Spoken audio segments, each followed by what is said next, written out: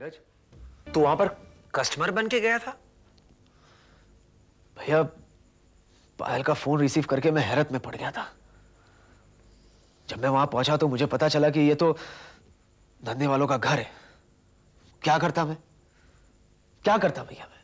बनना पड़ा मुझे कस्टमर बड़ी मुश्किल से मैं पायल तक पहुँचा था भैया बड़ी मुश्किल से पहुँचा था। अरे तो छुड़ा लाना था ना उसको वहाँ से? कैसे छुड़ा लाता मैं पायल को भैया? कैसे छुड़ा लाता मैं पायल को? किसी लड़की को ऐसी जगह से छुड़ा लाना is not an easy job भैया। पायल को मैंने तसली दी, भैया, लेकिन पता नहीं उस राम कली को कैसे मुझ पर शक हो गया। पायल से वादा करके मैं सीधे पुलिस स्टेशन पहुँचा। उन्हें सब कुछ बताया तो वो भी बड़े मुश्किल से मारे गया जब तक मैं पुलिस को लेकर राम कली के अड्डे पर पहुँचा, तब तक तो उसने पायल को कहीं और शिफ्ट कर दिया। था क्या क्या नाम बताया तुमने औरत का? राम कली में राम कली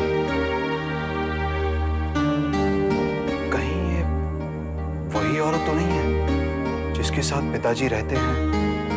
भैया अगर ऐसा है तो मेरी और पायल की ज़िंदगी आपके हाथ में भैया प्लीज़ भैया। धीरज मैं पिताजी से बात करूँ भैया जब तक आप बात करोगे तो पायल को कहीं का नहीं छोड़ेगी। कहीं का कहीं पहुँचा देगी। भैया प्लीज़ भैया भैया। धीरज हो सकता है उसने पायल को कहीं और शिफ्ट कर दिया हो। क्योंकि तू पुलिस को वहाँ लेकर जा चुका है। ये भी सही है भैया भैया मेरी पायल फ़िक्र मत कर हम तेरी मदद करें। चल सूरज पिताजी से बात करते हाँ मैं भी चलता हूँ भैया। तुम तुम यहीं रुको। चल सूरज भैया। रिलैक्स रिलैक्स रिलैक्स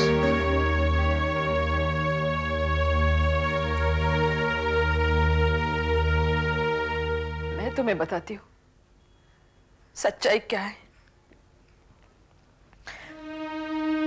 उन दिनों मैं एक फैक्ट्री में काम किया करती थी। रमाकांत कुछ नहीं करता था। सारा दिन शराब पीता था और रामकली नाम की एक औरत के चक्कर में पड़ा रहता था। उस दिन मीरा रानी जरा दो रुपए और निकाल। क्यों? पहले कम पी रखिए क्या और पैसे चाहिए? ए ज़्यादा बक बक नहीं करना। चल निकाल जल्दी से। नहीं है मेरे पास पैसे।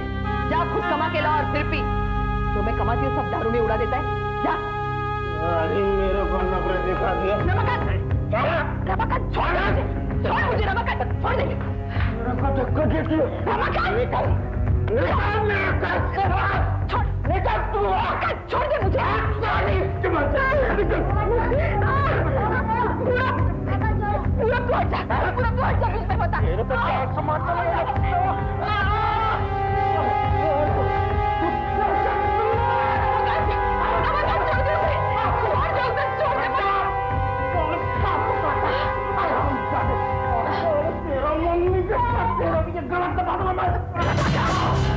मैं डर गई। इसलिए बंबई की ट्रेन में जाके बैठ गई। उसके बाद मैं तुम्हें ट्रेन में मिली। मैं चाहती थी कि तुम्हें सच्चाई बता दूँ, लेकिन डरती थी। कहीं तुमने मुझे ठुकरा दिया तो मेरा क्या होगा? मेरे बच्चों का क्या होगा?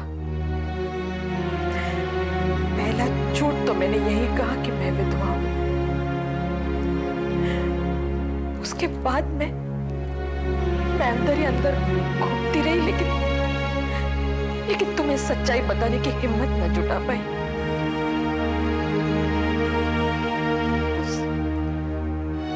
उस, घटना को जैसे मैं भूल सी गई थी। लेकिन फिर एक दिन अचानक तूफ़ान बनकर रमाकांत मेरी ज़िंदगी में वापस आ गया। मैं पहली बार उसे मंदिर में मिली। उसी दिन मैंने सोच लिया कि तुम्हें सब सच्चाई बता दूँ। इसलिए मैंने तुम्हें ऑफ़िस में फ़ोन भी किया था। लेकिन तुम तुम मेरे पास ना आकर सीता दीदी के घर गए। और मेरे अंदर की जलन जाग गई। और गुस्से में मैंने तुम्हें कुछ नहीं बताया। उस दिन अगर अगर मैं सच कह देती तो आज ये सब ना होता। पूरब संभल जाता। ये सब मेरी गलती है। मैं एक के बाद एक झूठ बोलती गई। जनार्दन।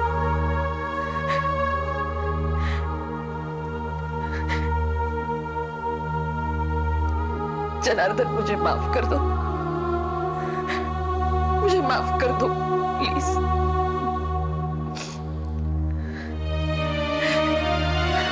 जनार्दन।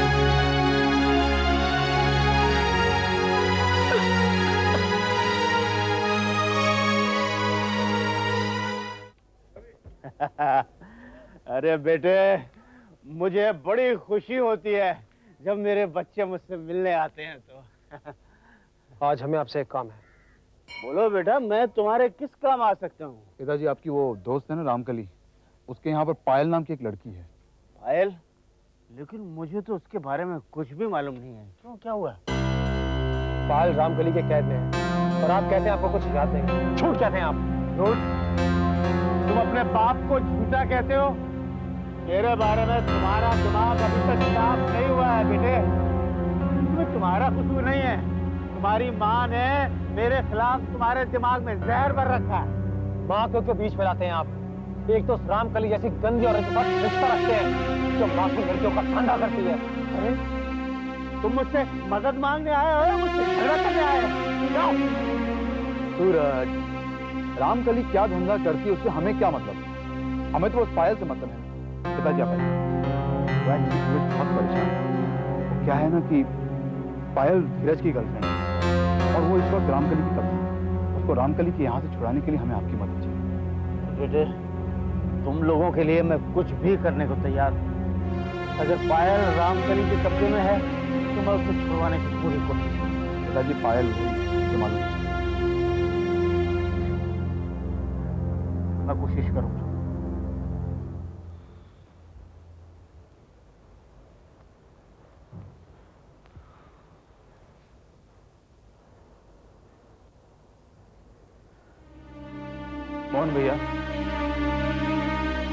मोहन भैया? पूरा एक दिन गुजर गया।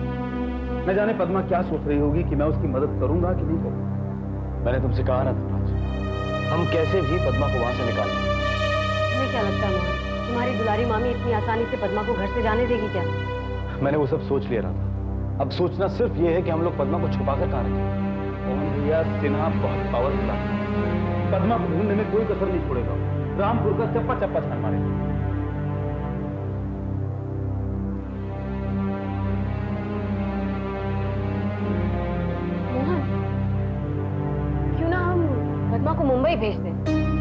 एम वो जगह सिन्हा की बहुत से बहुत दूर होगी राधा, सिन्हा एक पॉलिटिशियन है पॉलिटिशियन उसका जाल भी दो नंबर के लोगों की तरह हर जगह फैला हुआ है। और मान लो पदमा मुंबई चली भी गई तो फिर से सारी मुसीबत मोहन भैया और बुआ जी पर टूट पड़ी। मुझे एक आइडिया है एंड आई एम श्योर कि ज़रूर कामयाब होगा। क्या मोहन?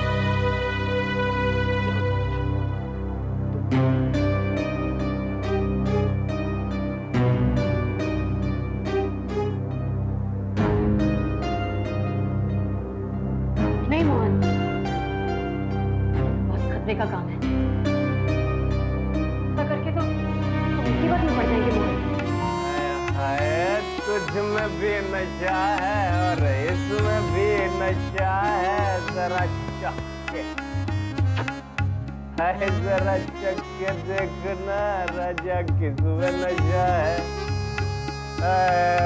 होठों से पी के हो जाओगे मलंग हो राजा। को खड़ी तेरे को मना किया ना? कि पाँच दस दिन के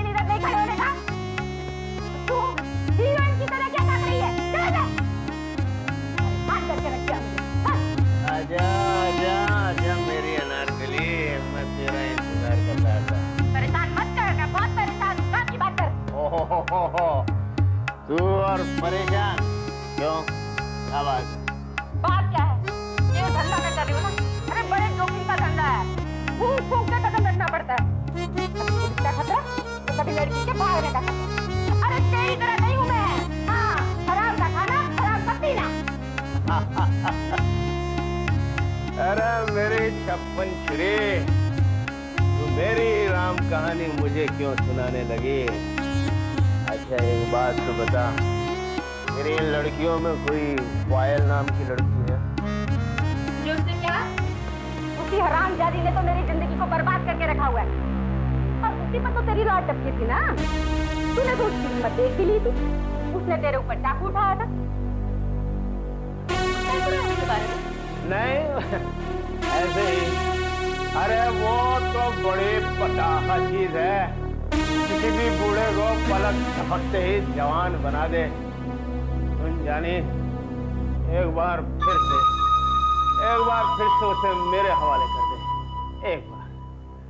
कायकू तेरे से मन भर गया है? या फिर इसलिए मेरे को दम भर लिया? अरे तू। ओहो, तू तो मेरी ज़िंदगी है। मेरी ज़िंदगी की साथी। लेकिन एक बार पायल को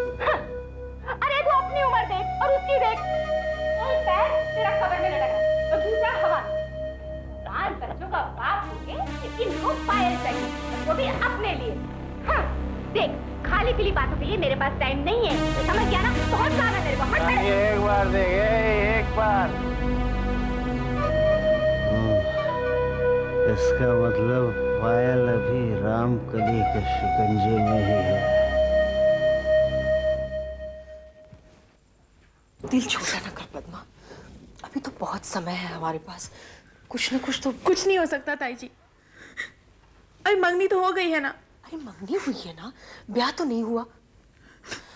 देख अगर तू ऐसा करेगी ना तो तो मेरी भी हिम्मत टूट जाएगी बेटी। मेरी बर्बादी के दिन पल पल मेरे पास आते जा रहे हैं। मुझे तो मुझे तो अंधेरा ही अंधेरा नज़र आ रहा इसी अंधेरे में उम्मीद की किरण छुपी हुई है। तू तू एक बार फिर से मोहन या धनराज को फ़ोन लगा।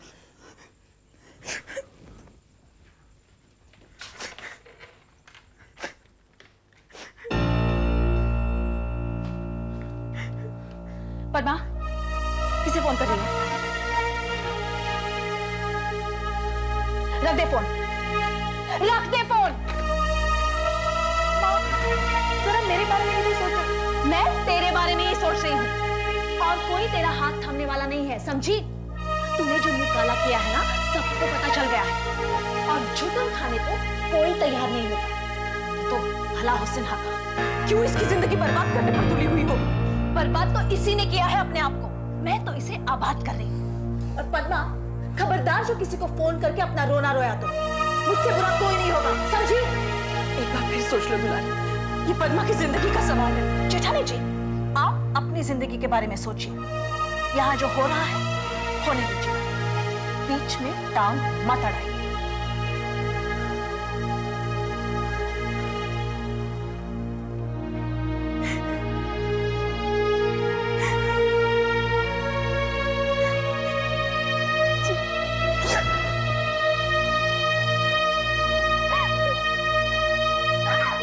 अगर दोबारा ऐसी गलती करी तो काट के रख दूँगा। मैं तुम्हारे हाथ जोड़ती हूँ मुझे जाने दो प्लीज़ अगर तू चले गई तो हमारा धंधा कैसे चलेगा? चल। काम छोड़ कर सुन ले जो बाल की चाहिए वही तुझे करना है। सारी खाने कर रही थी ए, ए, ए, अरे इतनी प्यारी सी बच्ची के साथ इतनी बुरी तरह पेश नहीं आते। चलो छोड़ो जाओ। जाओ जाओ।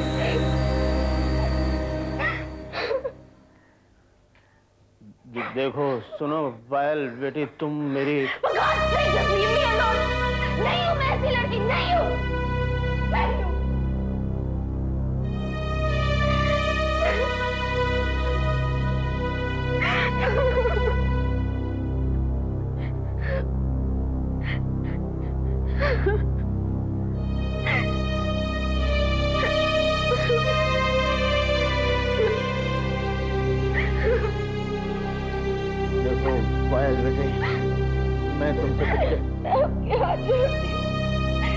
हूँ ये नहीं होगा।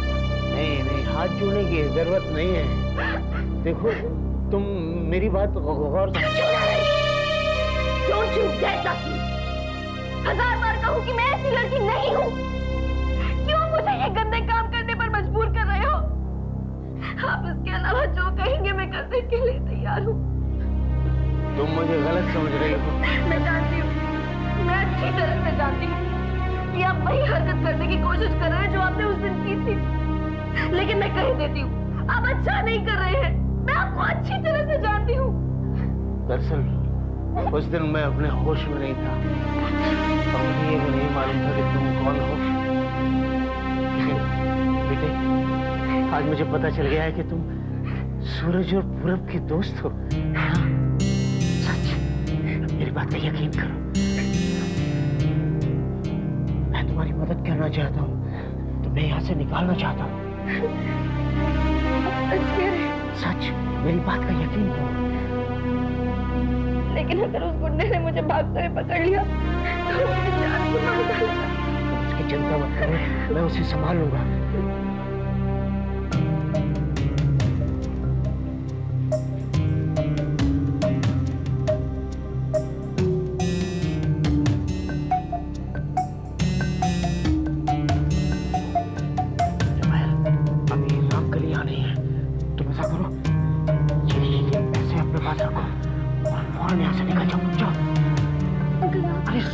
और फ़ौरन